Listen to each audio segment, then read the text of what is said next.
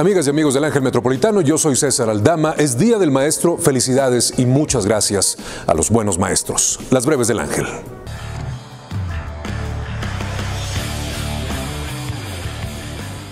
Hoy en la mañanera con el presidente estuvo Esteban Moctezuma Barragán, el secretario de Educación Pública, porque todo lo acaparó la reciente confirmación en 17 congresos de que se aprueba la reforma educativa. Ahora falta la promulgación, se espera que se haga hoy mismo, ese es el deseo del presidente.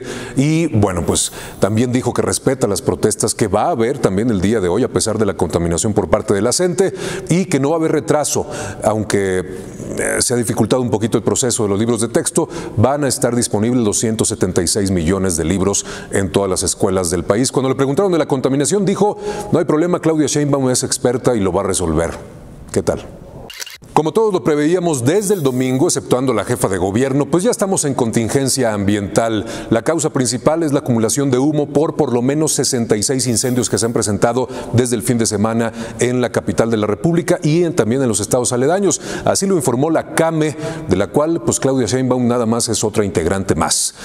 ¿Cuáles son las consecuencias? Pues ya se cancelaron partidos de fútbol, el América León, también el de Beis de los Diablos contra mi Unión Laguna, no hay recreos en las escuelas, se está considerando cancelar las clases, etcétera, pero lo más grave es las afectaciones a la salud. ¿Cómo andará usted de los pulmones?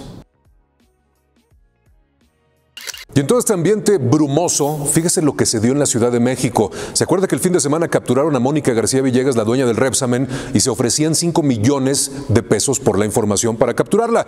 Bueno, pues ¿qué cree usted? Ese dinero se lo va a entregar la Procuraduría a un familiar, probablemente a Enrique, el hermano de Mónica García Villegas. Ya recordamos, y hay que recuperar la historia aquella, que platicaba la defensa, o la antigua defensa de Mónica García, decían que había habido un acuerdo, una reunión obscura entre los familiares y el gobierno de la ciudad. Bueno, pues parece que eso vuelve a tomar fuerza, ¿eh? estaremos atentos.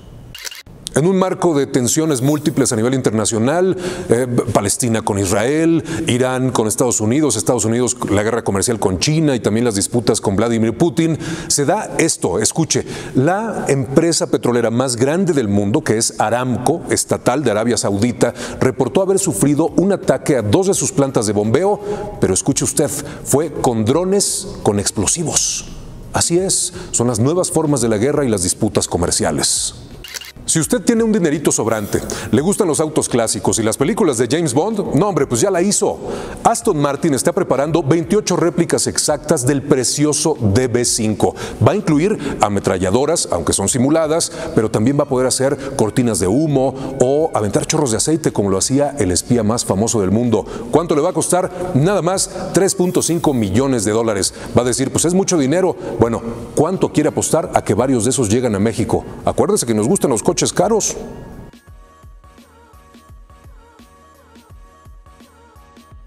Estas fueron las breves del día de hoy. Síganos en nuestras redes sociales y si quiere más información, angelmetropolitano.com.mx.